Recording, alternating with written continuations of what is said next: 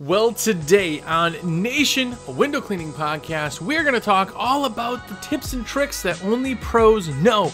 So if you're a pro or you're not, either way, stay tuned to WCR Nation.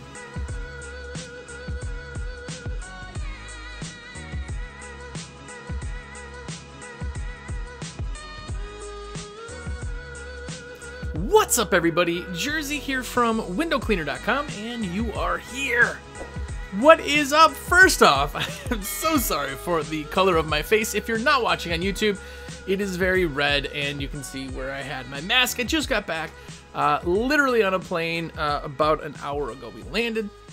I'm getting this episode recorded, so I apologize. Yes, I did not use sunscreen, so I'm sorry for that. Don't let that fool you, though. If this is your first time watching or listening to the podcast, make sure that you go back, follow up, love, and watch, listen, whatever, all the other episodes. We have like 200 episodes to catch up on. It's absolutely epic. It's been going on now for almost four solid years, which is beyond belief that I could still babble for that long. But go back, watch it. Uh, hopefully, you enjoy it. More importantly, if you are one of the cool kids, that means you watch every episode, you thumbs up on YouTube, you've left us a comment, but more importantly, you buy your supplies through me. Shameless plug time. It is because of you that I get to go on lavish, lavish non sunscreen wearing vacations. So thank you, thank you, thank you very much. Uh, and you guys know uh, I go on like one vacation a year, so don't let that fool you. But either way, if you are one of the epic cool kids, you watch, do all that, you order through me, and of course, you are subscribed to the American Window Cleaner magazine, awcmag.com. Well, I don't have anything else to say to you guys. You are the most absolutely epic, top tier people I could ever imagine. So thank you, thank you, thank you. If you haven't checked it out, go check it out. It's a magazine. It's amazing. It's all about window cleaning and the business side of it. It's American Window Cleaner magazine. Plus, you get a super cool sticker sheet because why not? I love stickers. So, with all that being said, I have a couple shout outs to actually give too. I want to say what's up to Levi Smith, Jay, the man. What up, Mr. Uh, Gam- Camarero? Uh, Landon Smith, what's going on? And of course, Diego Garcia. Diego Garcia, the Oso himself. What's up? Uh, truly, guys, if you want to put any orders in, please do let me know. I would love, love, love nothing more, especially it is busy season.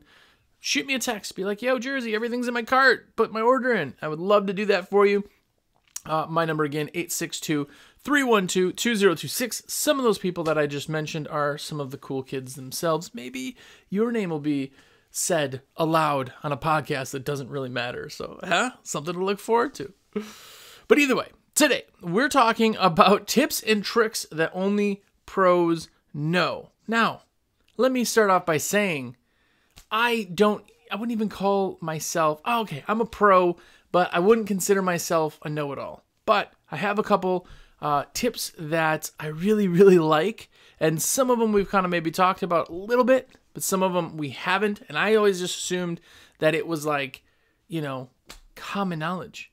Common knowledge. But it's not. First off, trim your rubber. When you buy a rubber, trim your rubber. It's not even on the list. It's just one that came in my head. But trim your rubber. It's always going to be a little bit overlap. Cut it close so it's just overlapping. Use like the Ronin cutters. Uh, we sell those, of course, at windowcleaner.com. But uh, use Ronin. Anyway, stuff like that. Uh, the first one, and I know this because I just got done talking to somebody who didn't get a second brass clip in a channel they bought. And uh, I just threw it out there, and they're like, oh man, really? But it's only using one brass clip in a channel. Now, this is one of those things that people assume because they come with two, you leave two in, but you don't. If you leave two in, it forces the rubber to sit between the two pieces that lock it in. If you take one off, now the rubber just floats there and this piece stops it from falling out. That's it. Super, super simple. It's like if you have a clipless handle, right? The kind with the little teeth inside that you have to you know, let down on to hold. You usually have notches. If you flip your squeegee over, you can see notches in the channel.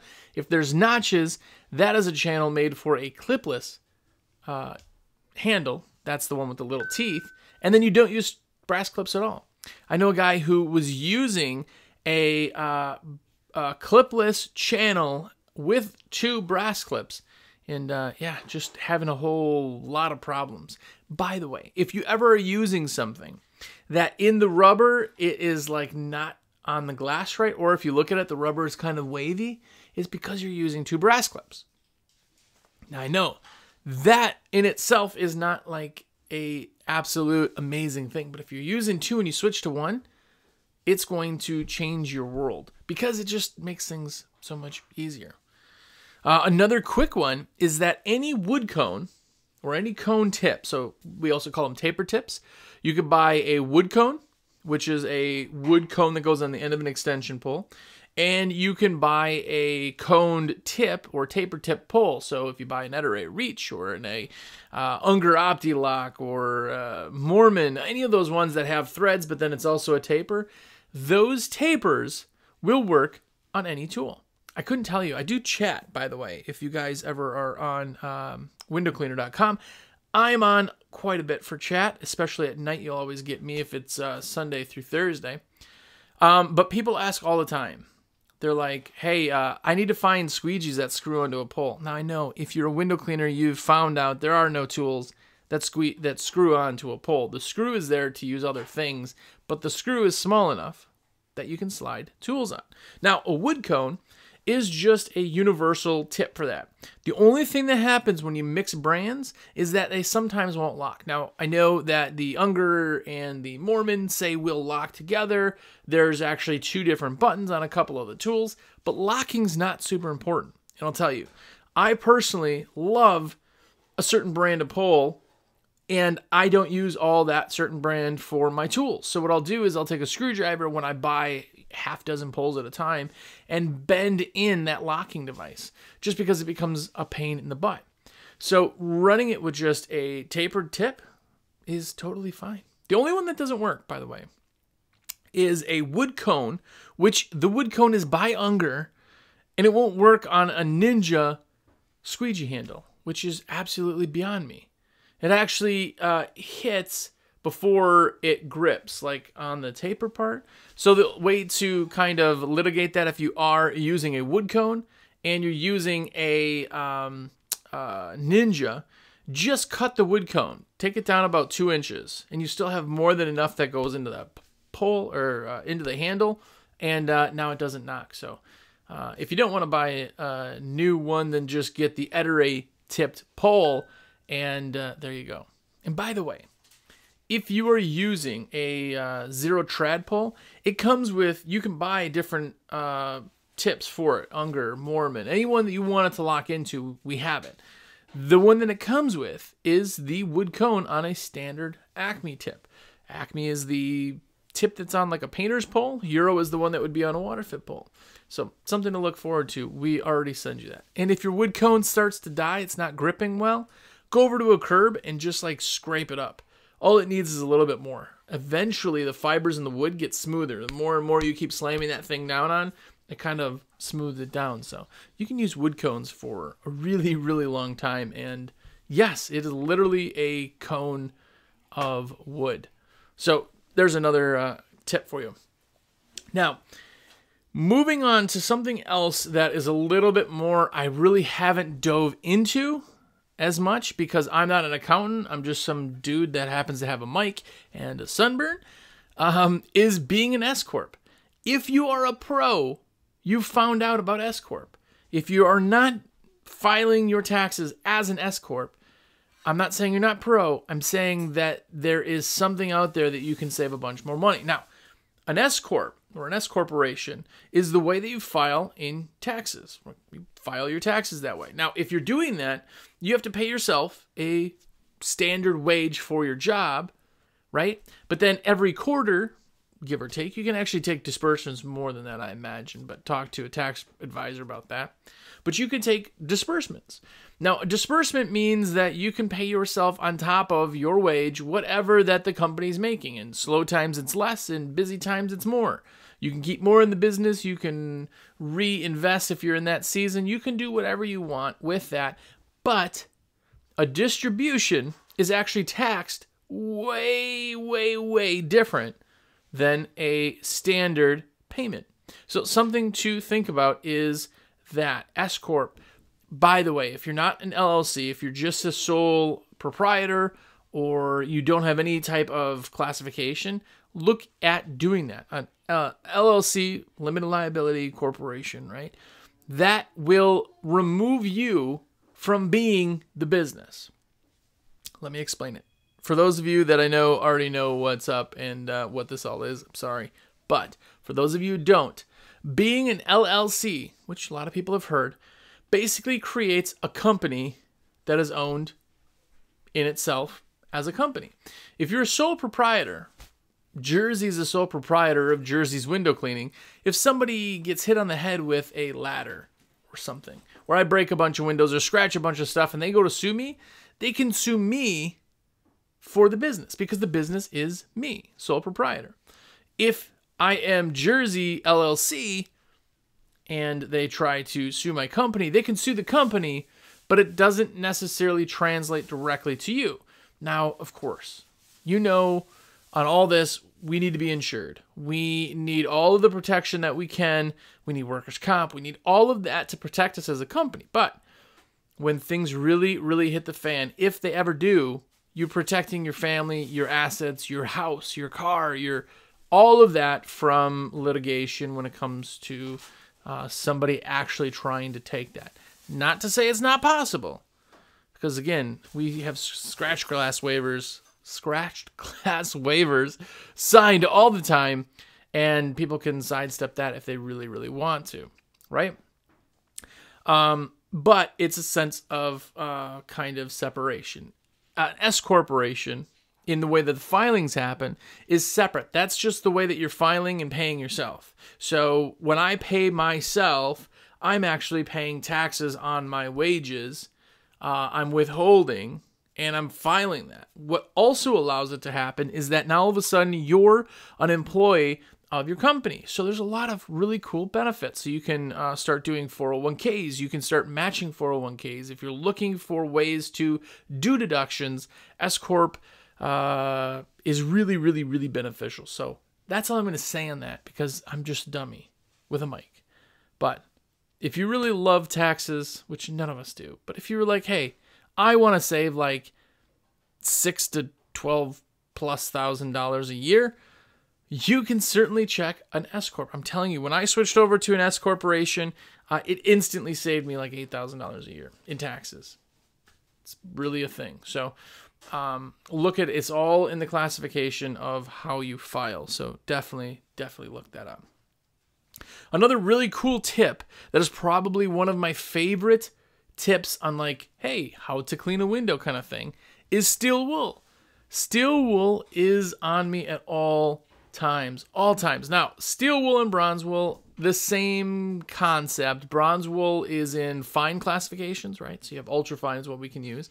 Uh, but bronze wool itself is not going to rust like steel wool, uh, but it does cost a little bit more.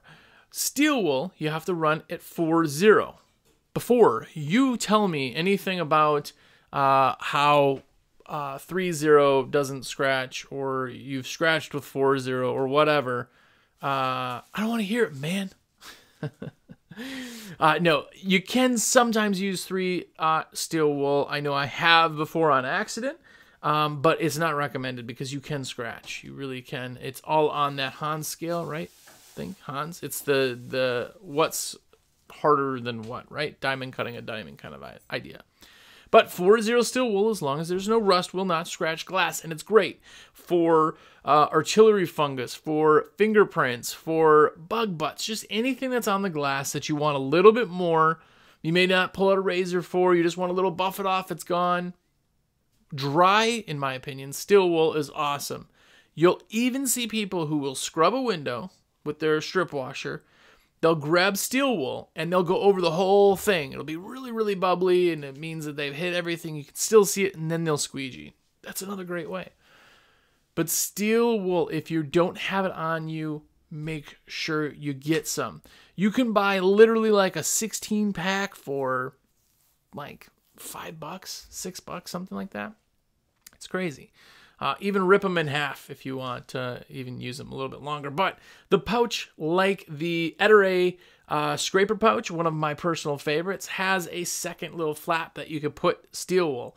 Uh, Sorbo has one with steel wool. There's a lot of them that have multiple pockets where you could put steel wool in those pockets.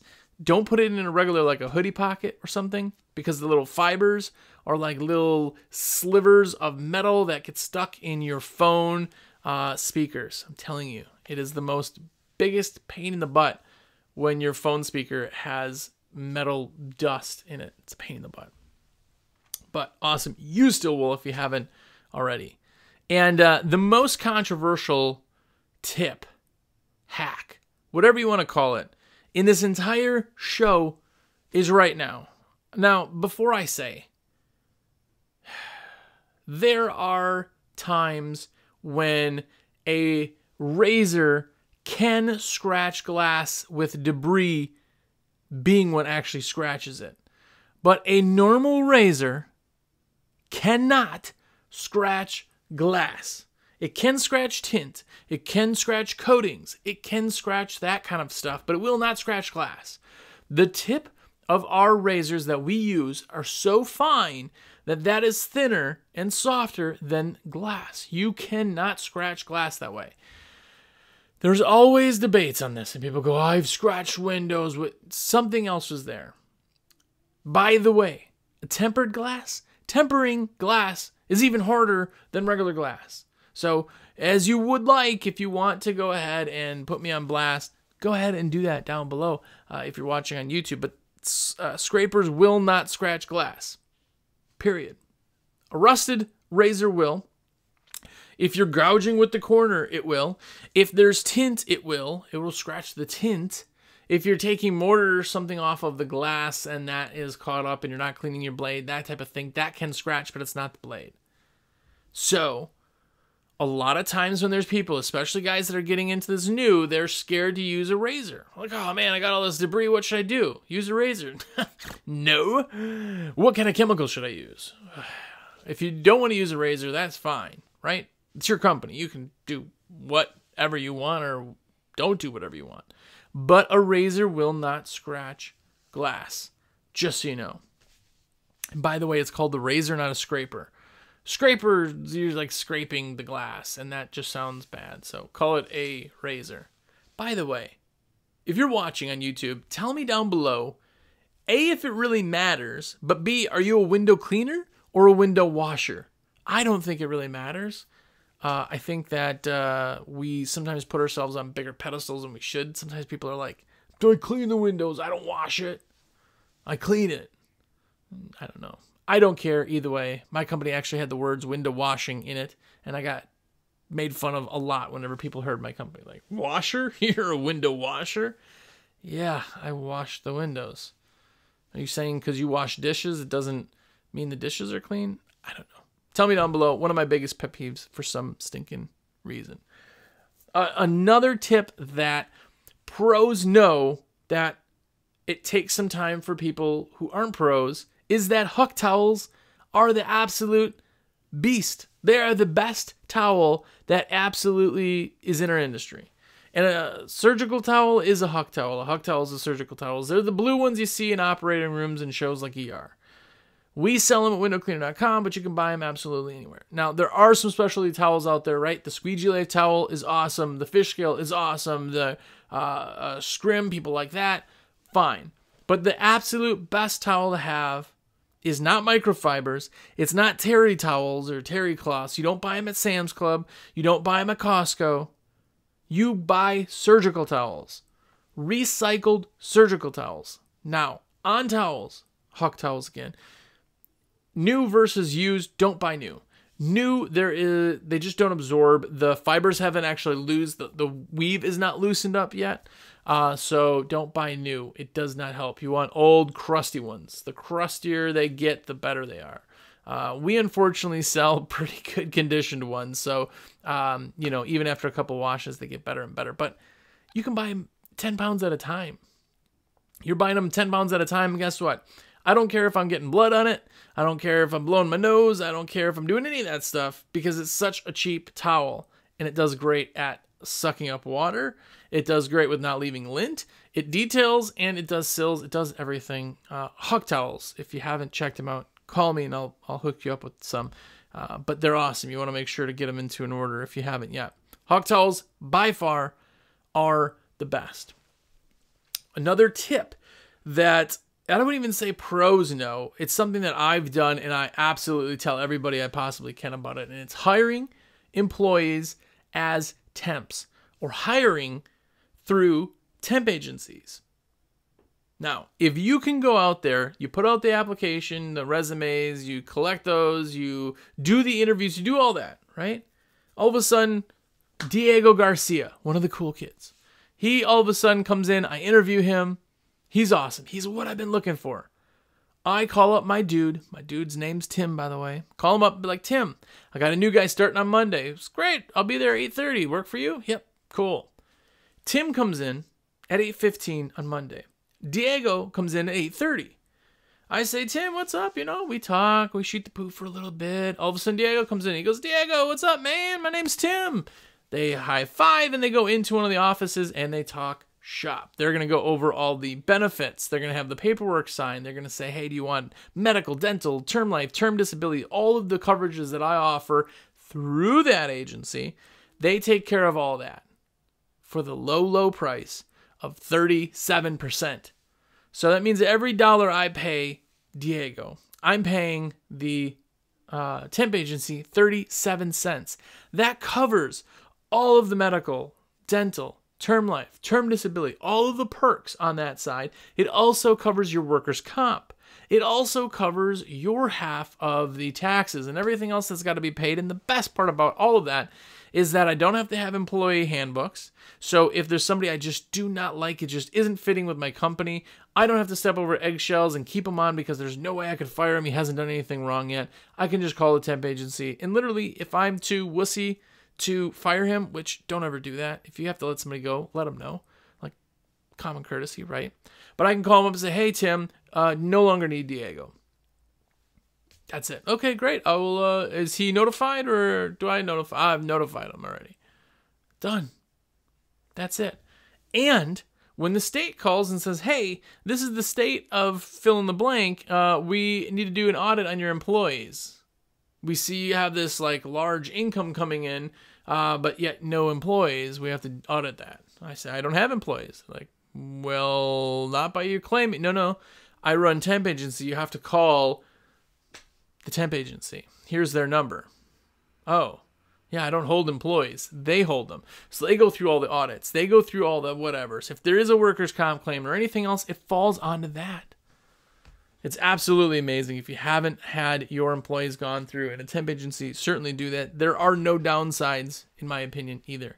Because in workers' comp, that percentage is going to be close to that 37% anyway. So, super, super uh, good deal to do. And again, it doesn't affect anything if there is a claim or something happens. It's really, really awesome. The other side of that is, is that you do not have to have them because I've had people go, "Oh yeah, no.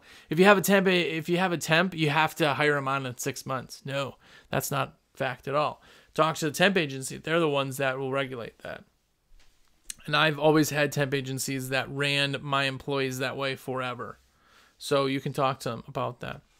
Hiring through temp agencies is a tip that pros know. Um, let's talk about the rain. If you're new and you're scared of the rain, or you think it's going to rain, do a rain guarantee. Do a seven day rain guarantee. Oh my gosh, I can't believe it. I would just be giving work away.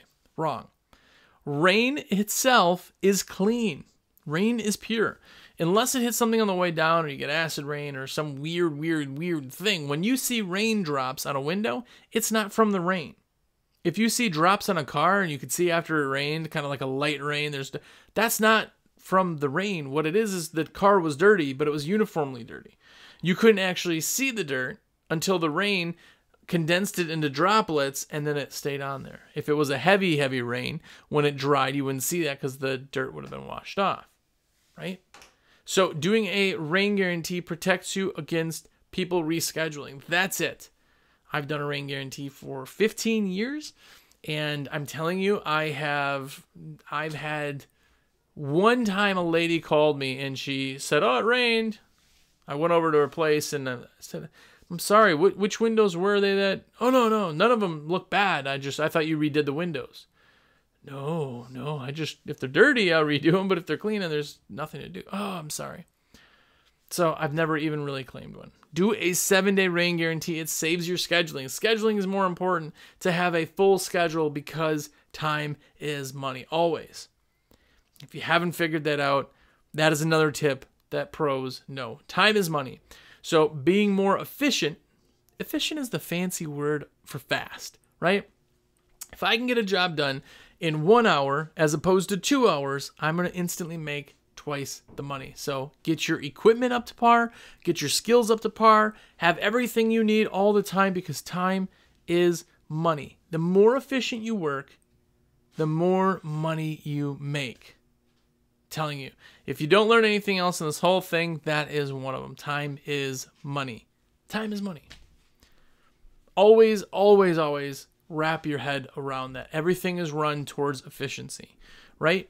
For a dollar or for a minute of your time needs to be paid in how many dollars you need to make. It always has to be that way because if you do something in a certain setup and all of a sudden now there's five minutes you weren't getting paid for something, that goes off your total and drops all your hourly. Every hour you were there drops by X amount, even if it's a couple cents. So time is money. Be as efficient as you can.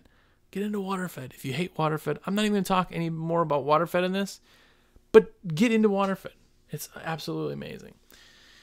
Uh, another one that pros know and newbies, especially newbies, do not know is that you're the professional. Now, I know that some of you don't know what you're doing. Some of you are not confident in what you're doing. Some of you say, "Man, I just started." All right, I'm new in business. Here's the truth is you're the professional. Even if you've been doing this for an hour and now you got your first customer, you're the professional. Don't question things you're doing, right? Question it and change it for the next time, but things are fact when you say them. So if your price is your price, that's your price. If your process is your process, that's your process. If you have a seven day rain guarantee, tell them that. Be confident in what you have because you're the professional. They're hiring you based on the fact that you're the professional. So that is right there a mindset that will change everything you do from here on out if you understand that you are the professional. Even if you're not confident, you're still the professional. If you bid something and after that you're like, "Man, that sucked. I did not make the I didn't make the money." You wouldn't go back and be like, "Hey, I messed up." Nah, just so you know, I'm not a professional. Just want to let you know. No. You change it for the next time. That's what being a professional is. All of us are still doing things. All of us are raising our prices. All of us are finding what goes faster and what takes longer. And some people are going, "Man, I hate I hate gutter cleaning. Gutter cleaning takes me forever. I'm going to up it my minimum by 50 bucks." You can do that. It's your business, right? But understand that you're the professional changes your mindset. Uh, another one that this is kind of a, a, a, fun one that people don't really know. Even if you're a professional, you may not know this. But rubber, squeegee rubber, is black. And it can only come in pieces. You cannot get a roll of rubber. You can't. What you're getting is silicone. If it comes in a roll, or it's bigger than, say, a 36 inch piece, which uh, actually uh, 40.5 inches is the longest piece that any manufacturer makes right now, and that's black diamond. But if you're getting something longer than that, so like a 50 foot roll or anything like that, that is silicone. Silicone can be extruded where rubber has to be pressed. It has to actually come out of a mold. So if you're getting big rolls, it is not rubber. And there's nothing wrong with that. Silicone works perfect right? Silicone is softer, so you're going to see a lot of that like roll stuff softer. If you're getting something with colors in it, rubber can only be black. It can only be black. If it's anything else, it's a composite. So you have blue with Moerman, you have red with Razor, you have green, Ungerhead green, you have all these different colors. A colored rubber is not rubber. A roll is not rubber. So just you know, when you're finding what you like, if it's black and in a piece, it's more than likely rubber. So something to definitely check. If you like a soft, uh, you don't really like a hard, and you want something softer than even soft, try a roll. Try some silicone, try some colored stuff. The feel is good, may not last quite as long, but again, another one that's not in this. People always ask me, well, how long? This stuff doesn't last very long. I change out our rubbers every single day. They flip. Every day they flip, every other day I replace them. So I don't know about long, long, uh, long lasting rubber because I've never wanted something to last long. Okay. Um, that's a big one on rubber. And another one, and this is probably, if the other one wasn't, the number one error people make that are not pros is that people do not buy based on price. They don't. There may be people out there who are only looking for the bare minimum. They're always looking for the cheapest. Okay, we'll say 98% of people aren't buying that way. Those 2%, you would really have to work hard to explain to them why. Because here's the thing you know there's McDonald's cheeseburger for a buck, but you also know that there's a steak restaurant cheeseburger and it costs $15. There are expensive grocery stores that sell the exact same groceries as the cheap ones. There are places that always have more expensive and always have less. You can buy a car that gets you from point A to point B, or you can buy a brand new Ferrari, right? You have to know what it is you're buying, just like they do. They have to know what it is they're buying, otherwise, price is the only thing they know. If I'm selling you two cars and I didn't tell you anything about them, but two cars, one car was, you know, $1,000 and the other car was, you know, uh, $40,000. If you look at just those facts, the only thing you know about the cars is the one is the less. Then you're buying the less. So make sure to know people do not buy based on price. They base their purchasing decisions on if they like you, if they trust you, and more importantly, if what you're selling them is worth them buying. So keep that in mind. Uh, but I do definitely appreciate you guys uh, watching or listening. Uh, sorry again for the strawberry look, but you get what you get. Uh, this is a free podcast. You don't get to be picky. Just kidding. Uh, but if you do want to put in orders through me, I would genuinely appreciate that more than you know. My number is 862 312 2026. Please do uh, put orders in. call me, text me, whatever. I would love that. Nothing more. And by the way, if you're looking at the sticker board, every time we get the new sticker sheet in, stickers leak up there. Right now, there is a Yoda squeegee and a bunch of other stuff that's all in there secret. The newest sticker packs from American Window Cleaner Magazine are in there. This is the February one that is in mailboxes right now. Uh, if you want to order sticker sheets, you sure can. If you want to buy old subscriptions, you can. And if you want to buy a new subscription, go to AWC Mag com forward slash sub and be awesome. Get a subscription. Genuinely would appreciate that. But either way, until next week, go out there and be epic.